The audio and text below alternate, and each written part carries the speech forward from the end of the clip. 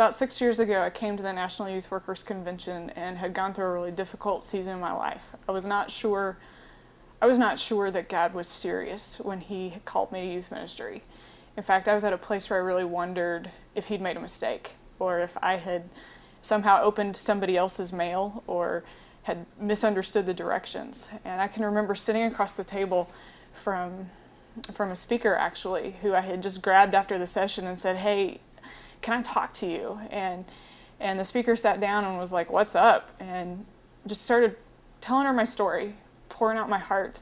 And one of the best things that happened in that conversation was her looking across the table at me and saying, "You can do this.